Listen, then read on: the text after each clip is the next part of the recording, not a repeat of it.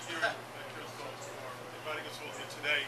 Uh, for what really is a very important purpose, and that is to refocus the energies of public officials, uh, of store owners, merchants, and of the community here uh, on the conditions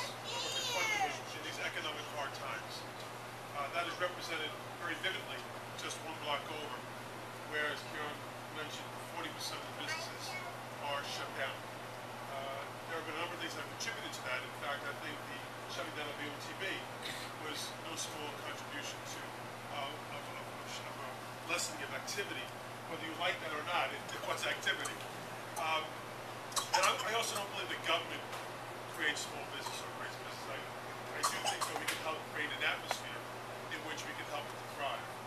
And Jimmy and I have been talking, we were outside at about 9.30 or quarter to 10, and we can see that the traffic along Queens Boulevard into the city uh, is not at a degree where it needs for lanes uh, open.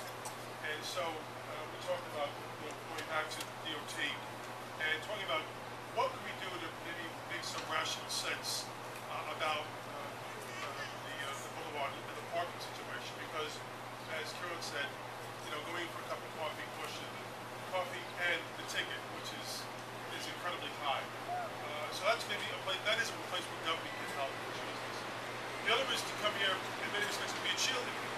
Um, let you know that we love Sunnyside Chamber of Commerce. And we love the bid Sunnyside.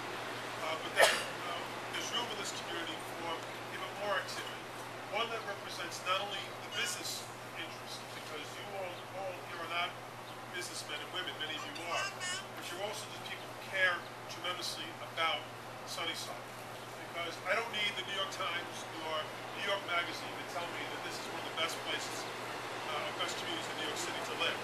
Um, I don't know if any Vegas is on your block, but I live over Woodside, not too far away. Uh, I know with these